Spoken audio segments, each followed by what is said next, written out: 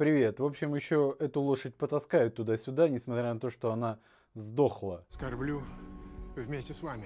Во-первых, посоветую всем текст в инсайдере или на инсайдере. Помните, что они иностранные агенты, сволочи, оккупанты, либералы и просто жалкие, ничтожные люди. И поэтому вряд ли напишут что-то интересное. В общем, посмотрите, какой исключительно неинтересный текст у них вышел, просто отвратительный. Главное, читайте его в виде текста, он наиболее мерзок. Видео, которое по тому же тексту они сняли, куда ни шло еще, не так гадко, а вот текст просто ужасен и отвратителен. Про фильм. Фильм отличный. Тут куда ни плюнь, а плюнуть охота много куда. Но это не просто стечение случайных обстоятельств, куда ни плюнь. Не или не, кстати. Пусть будет не. Куда ни плюнь, попадешь в нечто прекрасное. Кони, златокудрые юноши с обнаженными телами. Если бы режиссер был мужчина, я так и написала, мужчина с двумя щ, чтобы кто-нибудь ненароком не подумал, что я грамотный, я бы решил, что он гей. Прости, господи. Но снимала этот фильм женщина, и мы про нее ничего плохого думать не могем. Обстоятельства, которые привели в движение эту историю, так блестящие, что пересказывать их не стану, надо читать. Это фактически классика. Просто несколько крестьянских мыслей относительно этой блестящей работы. Во-первых, Харатьян. Матрос Корсак по вашему приказанию прибыл. Ребята, никто, ни один человек на земле не может так здорово сыграть Харатьяна, как это делает сам Харатьян. Причем делает это давно, из года в год. Считает это феноменальный успех, актерский успех. Просто идеальное исполнение Харатьяна. Остальные актеры тоже хороши, в фильме много дебютных работ, и это режиссер, режиссер Ша, режиссер К, как сейчас правильно, я не знаю, какое правильное установление. В общем, Светлана Сергеевна помечает маркером дебютантов в титрах. И я считаю зря, зритель без труда их опознает. По крепким спинам, мощным затылкам, золотым кудрям, свежим, струящимся по кадыкам водяным ручейкам. Возможно и по актерской игре, но тут нужно специальное образование. Ну, Домогаров, понятно, украшение. Домогаров всегда украшение. Если бы не сюжет и не Харатьян, то Домогаров, конечно, да. Но все это мелочи. Главное тут режиссура. Герои и обстоятельства настолько реалистичны, что диву даешься. Это же буквально в каждом кадре. Один эпизод правдоподобнее другого. Все забито логикой до предела. Только следи. Пересказывать смысла нет, только лицезреть. Ни одного штампа.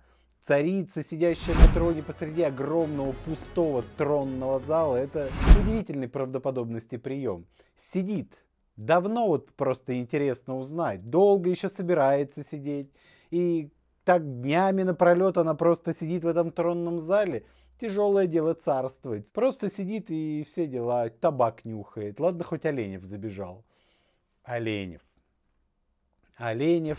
Оленев! Ну где ты? Оленев, по всей видимости, сбежал из ночлежки у Курского вокзала. Недаром князь. Забыл и побриться, и помыться, хотя бы постирался бы уж в конце концов. Ну и помыться, в общем, мог бы. Но с другой стороны, мчал к возлюбленной, понять можно. Правда, он давно не фехтовал, и понятно, как фехтовать, стакан в руке. По виду-то его сразу понятно, что не до фехтования ему было. Пил человек. Что еще? Д'Артаньян. Кто здесь отвечает? Хорош чертяка. Если бы, повторюсь, ни Харатьян, ни дебютанты, ни Домогаров и ни Светлана Сергеевна, просто прелесть. Тонок, убедителен, убедителен как никто другой. Роковая дама.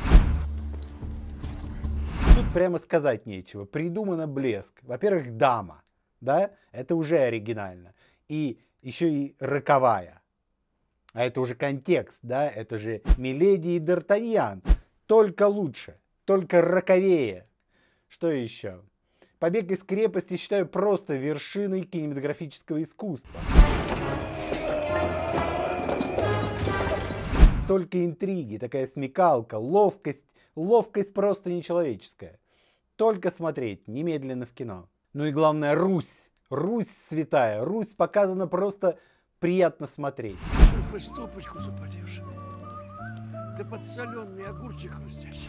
Солнышко светит, море плещется, турки бегают как ненормальные, итальянцы суетятся, французы трепещут, а русские они, они духом живут, триединым, а то и побольше. Снимало, снимало военное министерство, так в титрах указано. В общем, тут уж что скажешь. Бои поставлены загляденье. Побег опять же. Фрегат наш, красавец, их трусливо удирает.